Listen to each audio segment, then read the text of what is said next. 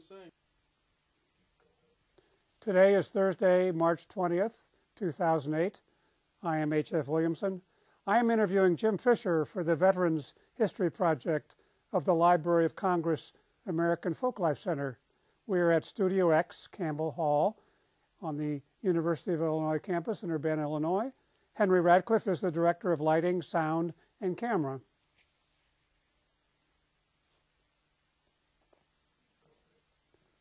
Jim, I'd like you to start out telling me where you were, what you were doing before you were called up, and how you came to join the Navy. Well, I was uh, working in Chicago in a machine shop with uh, where my brother-in-law worked, and uh, I, my uh, wife's cousin wasn't my wife at the time, but her cousin and I decided to join the Navy one day. What That time? was- what year? What That- date? It was in '42. Okay. So we joined the Navy on uh, June 1st, 1942. And, uh, How so? How quickly after you joined were you sent off to uh, your basic training, your boot camp? oh, right away, Okay. right away. I went to Great that? Lakes, At Great Lakes. Great Lakes boot camp, yeah. Then after that, I went to school at Iowa State, electrical school. Had that been your choice, or did they select you? Well, I wanted to go to gunner's mate school, but you know, I wanted to fire the big guns. but uh, they sent me to electrician's mate school. How long was that program? That was uh, more than four months, from like from August until December, I think it was. And uh, then after that, I think I went to.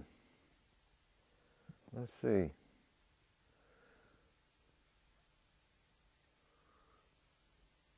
I went to uh, Gyro Compass School in San Francisco. And uh, it seemed like I went to another school too, but anyway, Were you being trained to be on a particular type of ship, or this was just general training for all types of ships? it was a, a general training. But see, at that time, they needed a bunch of guys to man these LSTs. So that's how I became an LST crewman. And uh, But the, but the training was general. It wasn't specific for LST only. So no, you could have gone on any oh type yeah, of ship if necessary. yeah. So you've now finished your schools, and where were you assigned to join your craft? To uh, Vancouver, Washington. Oh. And uh, I went aboard this ship here, LST 475. And I was on that until, When had that ship been commissioned? oh, I put it in commission. Okay, you were a Yeah. plank owner. I was a plank owner, yeah. And I was in, on that ship for, let's see, from March 17th, 1943 until December, uh, no, wait a minute, uh, until September uh, 1945. Wow, Two and a half years, maybe a entire, little more. almost the entire war. Mm-hmm. Yeah. So how long did you train as a crew off of off of the United States before Not- you went? Not very long. Really? We just we just took the ship down the Columbia River on the, you know first trip to make sure everything was all right, and then we were going to leave right away. But uh, there was a big storm in the Pacific, and they didn't want to let us go out until that storm got over. So we stayed in Astoria, Oregon, for two or three days, and then uh, then we went on down to San Diego, I think it was, yeah. And then came back up to Frisco, and they put a bunch of guns on our on our ship. More guns. We had a, a lot of guns on our ship. Well, these were installed on your ship. You weren't just carrying; they weren't cargo. They were part of your armament. Yeah, yeah, several. There uh, were several. Let's see, three, seven, seven twenties at that time, and then uh, we had three-inch gun and several fifties, fifty caliber Right. machine guns. Were some of those anti-aircraft, or were they all? Yeah, they were Yeah. all for anti-aircraft. Yeah, yeah, Now, was this the typical armament on an LST, or? yeah, Oh, I see. yeah. But I think we had a few more than some of the other LSTs. We were, we were pretty well armed. A plane never, none of those kamikaze planes ever got to us. Well, you'll have to tell us more about that when we get to when you're out on the Pacific Theater. So you're you're finally you have your armament on, and you're getting ready to take off, I assume. Yeah, Or we left uh, May second from Frisco. now, when you go, are you by yourself or are you with other ships? Mm, there might have been a couple other LSTs, but there wasn't any escort. We just went right on over to Pearl Harbor. And that was a pretty safe place to go, you know, between Pearl Harbor and the United States. So there wasn't much risk of submarines between that. Okay. No. How long were you at Pearl? About a week. One week. One week or less. Not for much training, just to get ready to go. Yeah, we had we had a cargo that uh, that they um, you know dropped off at Pearl Harbor, and then we loaded. Seemed like a, oh. I don't remember them loading much stuff on at Pearl Harbor. But uh, then we went from there to down to Samoa. How long a trip was that? Well, that's uh, about 2,000 mile trip. Wow. And then from there we went to the New Hebrides. Now, in your training, had you practiced landings at all? No, Really? Mm-mm. Oh my gosh. no. No, they sent us over there without ever even beaching in the ship anyplace. Yeah. Why? Well, they wanted to get us over there. Okay. And actually, it's not that hard to run a ship on, up on the beach. The main thing is that you don't drop the stern anchor too quick. and I was the one that operated the stern anchor. Oh, well, then you needed practice. Well, see, one time we lost it because the, you know, you'd get the order to drop the stern anchor, and that's all you could do. You know, you had to obey orders. And the ship kept going and going and going and never hit the beach. And, and cable come out of the cable drum, and we still hadn't hit the beach. So we lost it, and that was a big job getting that back. Boy. 24 hours before we got it all, all the cable back. 900 feet of cable. That's a lot of cable, and Also- the cable this big around. oh gosh. Did you have to do it manually or? Well, they took the boat, uh, small boat, and uh, with a grappling hook, and they caught the cable about in the middle of it, which was a kind of bad thing to do. If they could have got the end of it, it would have been made it a lot easier because we could have hooked it right to the drum and wrapped it up. Right. But uh, we had to take that cable and lay it out on the deck, 900 feet of it, and uh, finally, let's see, that took over 24 hours. Just about the whole crew. And we got back and then uh, wrapped it up on the drum, and uh, that was it.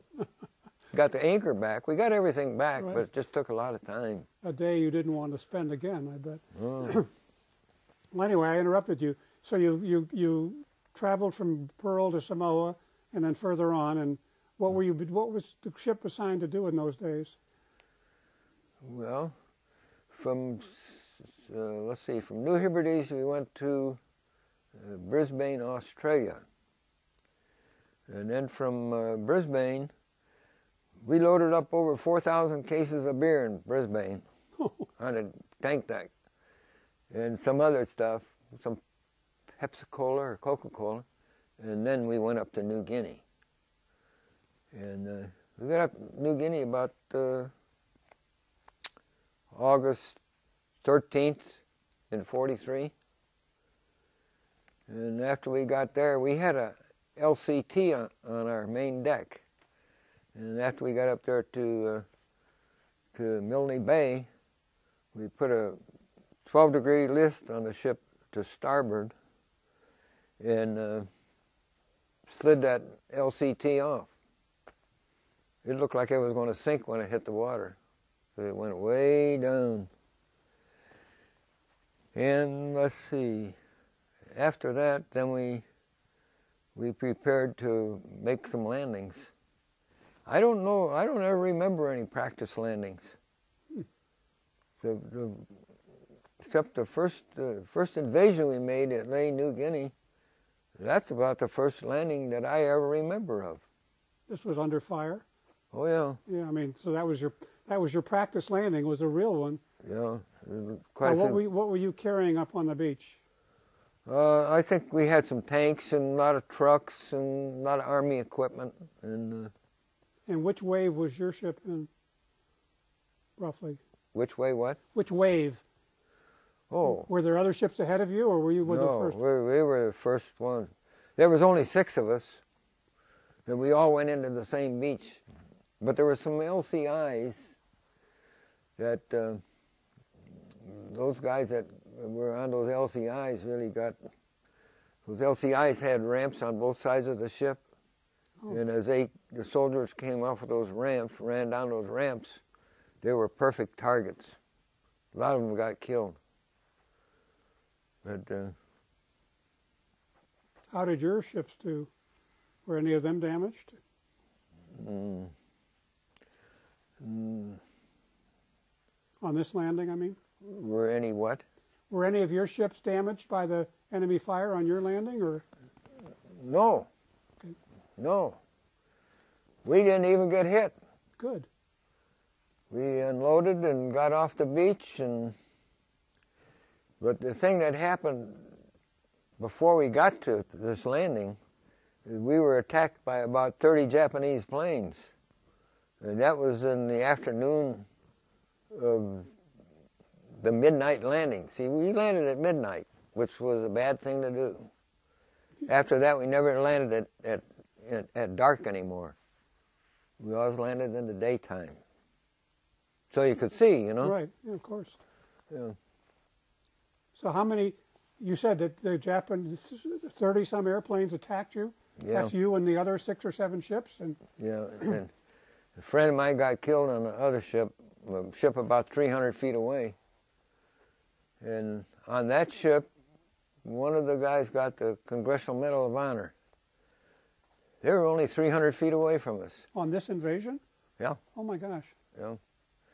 See, this was this was in the afternoon before the midnight invasion, and uh, that's when those planes attacked us.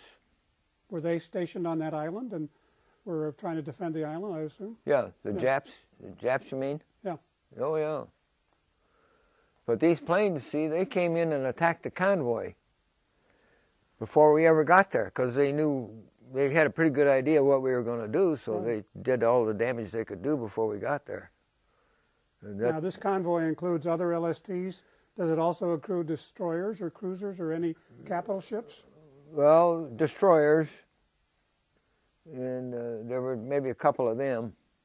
There, this really wasn't a big invasion, but uh, it was a, a bad one as far as I'm concerned because it really, you know, a friend of mine got killed on the oth- one of the other ships. I don't. I can understand. yeah. Yeah. So that was the first invasion that your craft had been in. hmm Now, what happens after that? Do you continue taking things to the beach after the first wave, or Well, we just went on in and unloaded and got off of the beach. So you don't? There's no. There's no additional trips to the beach. Well, I don't. We may have gone back up there again, from Milne Bay up to Lae. That's that's about 300 or 400 mile run. Whoa. It's quite a ways. And I I don't remember if we made a resupply run or Right. not. But this 473 that got hit, they they they took them to Australia and, and they were down in Australia for over a year getting fixed up. That's how bad they got Yeah. hit. So when you're Now that this invasion is you're done, what what do you do next? Well, we made several more in New Guinea, and let's see. We made invasion at uh, New Britain Island, and that was a bad one. We got stuck on the beach and couldn't get off. And uh, And you're under fire at this time. yeah, Can you fire back with your 50 calibers, or well, I don't remember them doing that so much, but what happened? They were trying to pull us off of the seagoing tug, an Australian seagoing tug, and they had a cable. Let's see, they hooked it to our cable, yeah, our stern anchor cable, and they started trying to pull us off, and we had our engines going full speed astern, and first one, then the other, so the ship would kind of go back and forth like that. Trying to wiggle off the beach Right. is what we were trying to do. like a snake? Yeah, but it, it didn't work. Uh, finally, when they were pulling on us real hard like that, that darn cable broke. oh no! And another guy and I were on the fantail. That was my station, fantail. And that cable missed my head by about that far, I guess. Come right over our head. But uh, got out of that all right. And then the next morning, when the tide came in, we got off the beach. And uh, of course, that was a landing where there were even mines. They had mines out in the before we could get into the beach. There were mines in the water. Did any of them, any of the ships hit the mines? No, not that I know of. But you know, it's kind of they were watching out for him I real bet. close. You know, Very carefully. you know. So, I mean, is it a little unnerving to spend a whole night on the beach with Yeah, under fire, or yeah, not so much under fire, but the the Japs. Uh, we got a report that uh, the Japs had broken through the Marines' lines and they were coming toward the ships. So then they issued everybody a gun, you know, like a 45, just just in case the Japs did get on board the ship, or to try to keep them off. right? But they never did. They never did make it.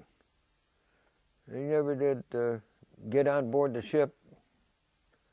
And the next day, next morning, later on in the morning, we got off When the tide off came. the beach. You know. Yeah. So those are your first two invasions. Yeah. I got a, a whole uh, story about that. The captain wrote about it, the, the night that would never end. that was the title of it, that he titled it. Because it, it was a long night. Yeah. especially when you'd been told the Japanese had broken through the lines. Oh, yeah. yeah. So, how much time do you have to recover after that invasion? Well, sometimes uh, maybe a week or so. But we made a lot of invasions in, in New Guinea, several of them.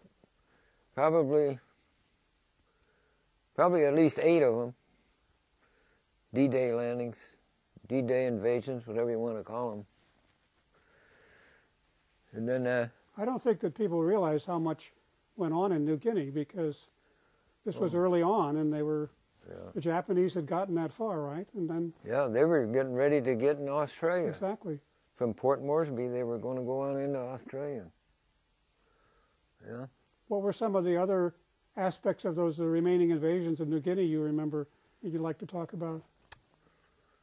Well, one anniversary of it's coming up pretty quick, April 22nd.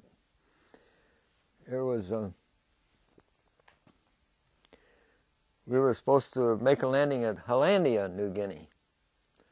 And uh, I heard the, the uh, minister talking to all the soldiers on the fantail, which was my station, general quarters station. And uh, they were telling the men that there was going to be probably at least 70% casualties. Uh, you know, that's a lot. These are the, the, the troops you were carrying. Yeah. Yeah, we probably had three or four hundred on the ship. But uh, we, let's see, about six o'clock in the morning, they were shelling the beach, And we went in about seven, and uh, there weren't any Japs there. They'd all ran up into into the hills. Oh, And one guy got, uh, let's see, uh, shot himself in the foot, and another guy drowned in a swamp.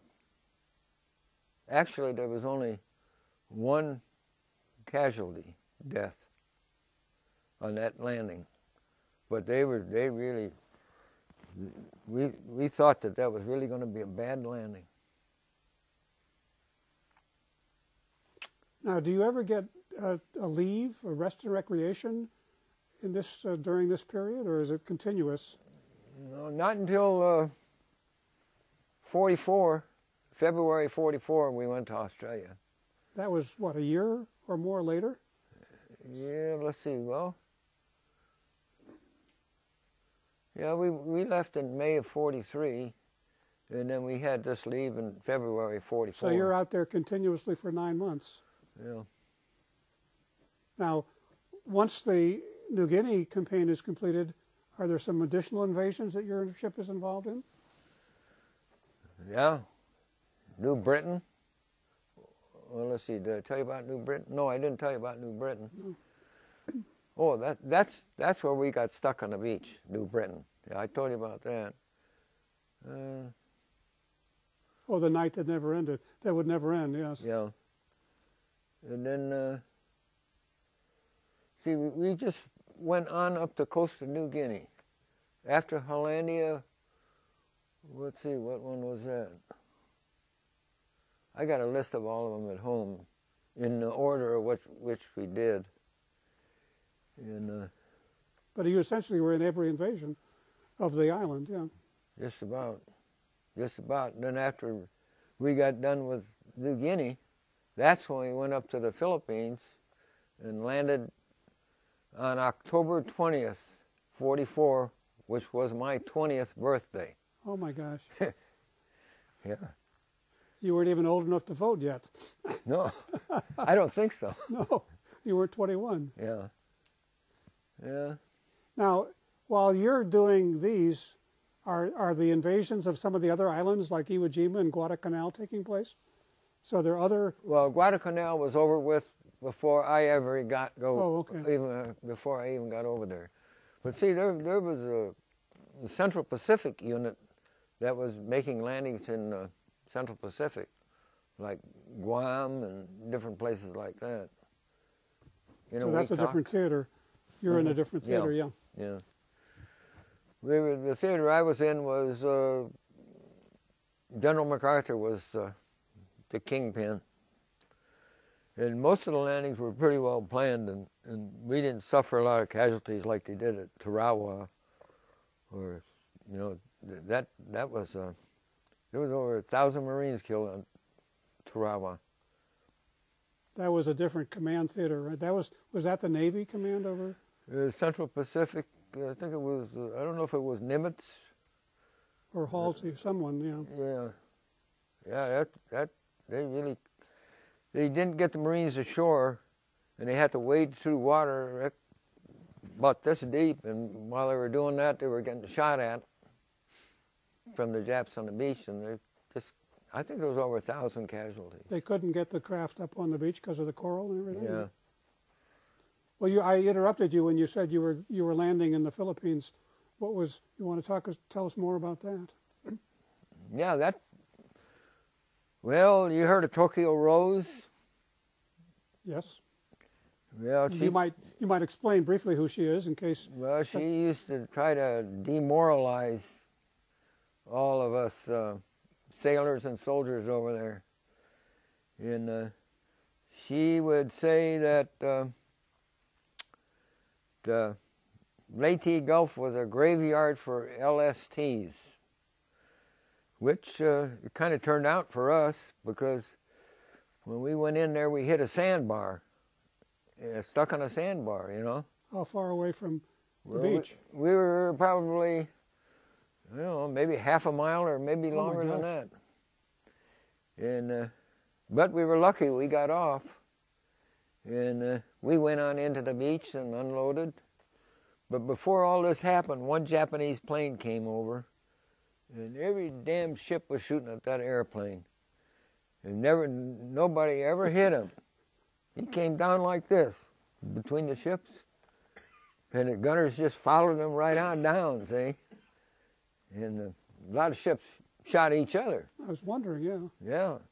And Was he strafing you as? no, he, he just was fooling around, I think, Oh, trying to draw fire, okay. trying to do what he what he did best, got the ships to fire into each other. But he never got hit. So then he took off, went way up, and went out of sight. But later on, we found out that a P-38 got him. Oh, But there must have been a million dollars worth of ammunition fired at him. including your ship. Mm-hmm. Oh yeah, sure. Yeah. Yeah. So after that ship came, then then then the landing occurred. After we got off the beach? Yeah, I mean, was that a very hot beach? Was, were you under fire? No. Okay. No. But there were some pretty gruesome sights at that beach, which I didn't go to see. They said, the guys on the bow were telling me that there had been a pillbox right there, right in front of the where we uh, beached, and there were, I guess it had had sustained a direct hit because there were some legs standing up in there yet. This is from the bomb. The bomb. The ship bombardment had direct hit it. Yeah. Yeah, I didn't even go up to see it because that was enough for me. I guess. So anyway, we got out of that all right. But a month later, when we went up there to resupply the the, the troops, that was uh, when they started using kamikaze planes. That was the first ones. And uh, I saw two hospital ships got hit that day with kamikaze planes. And uh, we had I think that day we shot down about two or three planes that came at us. Your LST did. Mhm. Good. Yeah. So the LSTs were targets for the kamikaze planes. oh yeah, Yeah. sure. They they would uh, go after anything, but they didn't. Uh, we heard that the pilots in those planes were half drunk when they took off. They gave them, or they gave them sake to drink while they were flying toward their target. That's why. Uh, well, that's probably one of the reasons why we didn't get hit. But we Oh. did shoot two or three down that day. But at least some of them were successful in, Oh, in yeah. attacking ships of. They sunk some some LSTs up at, I think it was at Iwo Jima. They sunk some. They sunk some destroyers with kamikaze planes. Yeah, they did a lot of damage. They, they, there are pictures of them attacking some of the even larger capital ships too. So Yeah, that was quite a devastating aircraft weapon. carriers. Yeah. Oh yeah, yeah. So was this was this one of your last invasions? This uh, No, we had uh, another bigger one. oh Lingayen Gulf. That was a that was a that convoy that went up there, invasion convoy. That was over 30 miles long, and uh, we did get hit up there in the bow doors. It blew a hole about that big around. what do you think hit you? Uh, mortar shell. Oh Yeah, it wounded uh, two or three soldiers that were right there. It was. Uh, then up there, they were. We had. They told us Japs were swimming underneath boxes, and coming up to the ships, and putting charges on the ships. You know, blowing them up. So any box you saw, you know, it was. I don't know if there was anybody under any of those boxes or not, but you did you ever hear of a ship actually being attacked by a swimmer? Or was this a- well, no, really. But they said they see they put out a lot of information like that to keep you on the ball. Right. You know, that's smart.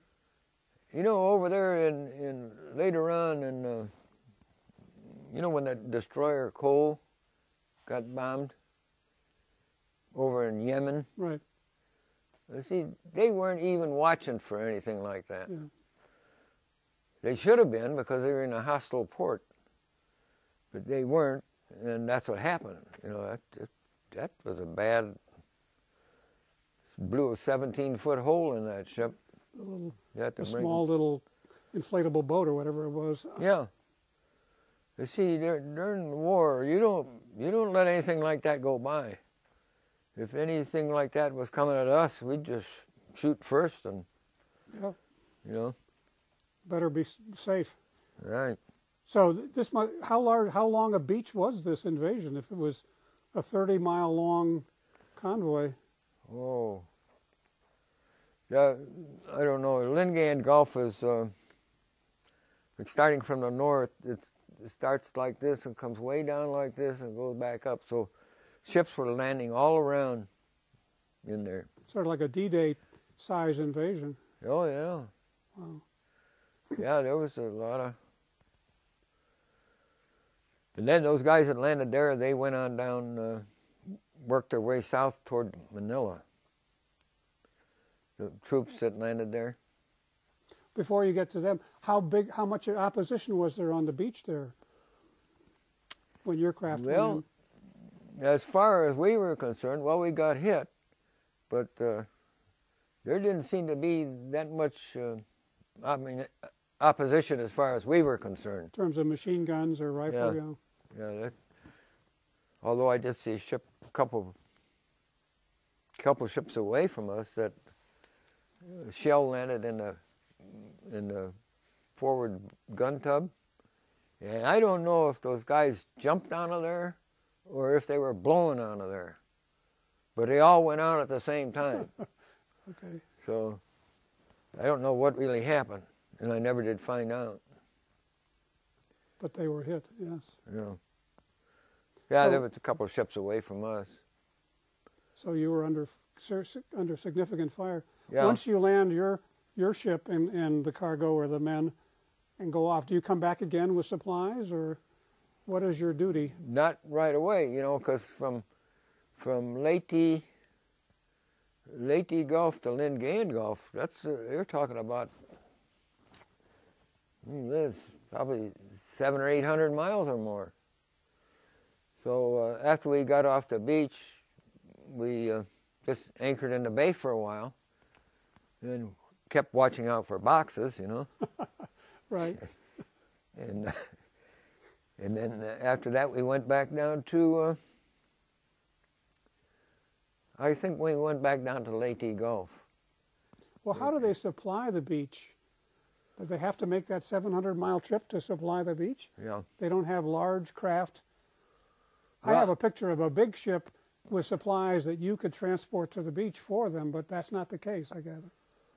Well, they uh, they used LSTs mostly because you could run the ship right up on the beach. Right. Uh, These other kind of ships we're talking about, cargo ships, they had to put the, their cargo on like one of these um, LCVs, LCVPs, 36 foot boat. Okay. And that's how they had to unload their stuff. Oh, they And couldn't unload to an LCT from a cargo ship? They could, but I, I don't never. Okay, that I don't wasn't what they did, remember yeah. seeing them do that. No, they they usually, they may have done that more than what I think. But I understand this was not something that your ship was assigned to do. No, no, no. After we uh, got unloaded, why, we'd go right back to where we came from. Usually, Now, during this, during these periods, starting in New Guinea, when you're going from place to place, are you under risk of submarine attacks? yeah. How do you avoid that? Or do you zigzag or Well, you have a lot of guys watching. right? And then a lot of guys spreading rumors, you know. They say, "Oh, I saw a periscope over there, over here." But see, that's good in a way because that keeps uh, that keeps the people on the ball. You know. Right. Yeah. Do you do you know of any stories where LS, LCTs were under attack from submarines? Was that a target they would take on? Oh yeah, I there was when we first went off up to over to Australia, an LST had been hit by a torpedo just as it was leaving Sydney, I guess, or Brisbane. oh my gosh! Boy, that that was really blown up. The tank, uh, the back, the stern of the ship was blown up like that, rounding. The deck was rounding like that, blown up like a balloon. Huh. Yeah. Did the sink ship the ship sink right away, or did it? No, it didn't sink. Okay. No. So it survived that. But it killed a lot of guys. of course, yeah. Because it, it, got hit right in the crew's quarters. Oh, nuts. And, uh, it, I forget how many guys got killed. They never would tell you anything like that over there, but later on, since I belong to the Illinois LST Association, I found out a lot of things that I didn't know before. You know, the guys guys would write letters to the paper and tell them how many guys got killed, you know, and yeah. Okay, so we were, I interrupted you again. When you would finish that invasion, you'd return back 700 miles to your home base. Yeah. What happened next? well, we got ready for another one. Oh my gosh. Yeah, we, they didn't let us fool around. Mm. Had, had you had your uh, rest and recreation in Australia at this point? I'd forgotten Yeah. the timing. Yeah, How long was that? How long a period did you get? ten days. Ten days. Were you were you received favorably by the Australians? Did they host you well, or Well, yeah, but a friend of mine was. Uh, some funny things happened to me in Australia. uh, To this friend of mine, we weren't together at the time, but some Aussie came up to him and asked him for. Uh, let's see. He asked him for a cigarette, I think. And uh, he, when he rent, reached in his pocket to get a cigarette for him, that's when the guy, uh, you know, poked him one, I guess, knocked him down, took his him? money. Oh my gosh! And I had a problem where I was walking along the sidewalk and some Aussie said, "Hey, come here," and he kind of showed he had a bottle, you know. So we went into a little vestibule in front of a store, and I asked him how much, and he said, uh, he said ten pounds, which is like about thirty bucks. Whoa! So I gave him a 10 pound note, and boy, just the minute I gave it to him, he took off running. Of course, when I opened the bottle up, you know what was in it? Tea. yeah. Of course. They didn't. Uh, why the Why do you think there was such an animosity against the people who were helping them? Well, you know, that's the way some people are, you know. Just like over in Iraq, probably got the same thing going on there. These guys were kind of, well, they they saw an easy way to make some money. See. Yeah. Okay. But other than that, I hope you had a, a good ten days of Yeah. out of the theater. Oh yeah, I I just remembered that because Of course, I that's was a big remarkable. Yeah, I was a big sucker. yeah. or a nice guy. So you've you've re, you're, you finished your rec, your uh, rest your your leave and you're back on on uh, station. Yeah. What's happening next? Well, let's see. That was in, say, we went down there in 44, February, and then we came back up to Milne Bay. And uh, I forget, we made some more landings in New Guinea, I guess. And then in October of 44, that's when we made uh, the Leyte Gulf Okay, invasion. I got us out of sequence. hmm And then, what happens after that? Well, then, not too long after that, then we made the landing at Lingayen Gulf. And uh, later on, after that was over with, we, uh, let's see, we, we went into Manila because that had been secured by the soldiers, you know. We were the first LST in, in Manila Bay. Oh my gosh. But that was uh, that bay was full of sunken ships. They said 300 of them altogether. Wh- of which navy? Uh, mostly Japanese. Yeah. We went right over the top of some of them. My gosh. Were you able to land? Were you able to go ashore? Yeah, yeah. We went. Uh, we went right up to a dock and and uh, opened our bow doors and drop the ramp right on the dock. Oh, We're just maybe just short of the dock. Did you get time to, to, to see Manila at all? Or yeah, yeah. We walked around a little bit, but it, it was really bombed, bombed bad. Yeah, I got pictures of that. Yeah. this was mostly the bombing that the Americans had done to return, or had that occurred back when the Japanese had taken over? I think it probably. Uh, I don't think the Japs bombed Manila, Manila No. too much. Back in 41, I think. Uh, I think. Uh, I think most of that was from American bombs. Yeah. Yeah. Yeah. The, the Japs really treated those people in the Philippines terrible.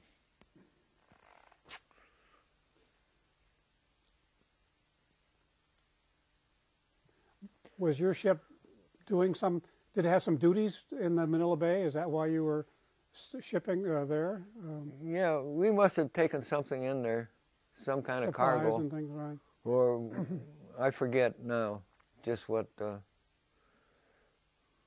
we we must have taken because we were they sent us up there and we must have had something cargo Right. on the ship to take up in there. Supporting the troops. yeah. Yeah. So what happens next? Well, that's kind of getting toward. Uh, let's see, that was around in, in April. I'm going to say around in April 45. hmm That Lingayen Gulf invasion was in January 45.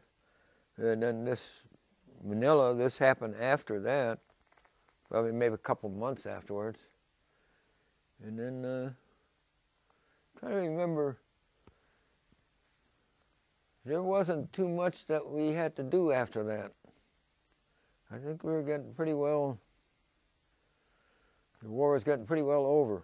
But I know that there were plans being made for the invasion of the mainland Yeah. of Japanese. Now, was your ship going to be part of that planned invasion? Well, yeah, that's that's where we went back down to New Guinea, and we were loading up a bunch of you know stuff for the army. And uh, about that time is when they dropped the bomb on Hiroshima. So after that, why? I think we went up to to Lingay, or Leyte Gulf, and uh, just anchored there in the bay. And that's about the time I got my orders to come back home. So the war had ended, but hmm so one thing the bombs had done was make sure you didn't have to be part of an invasion of the Japanese mainland. Yeah. Okay. Yeah.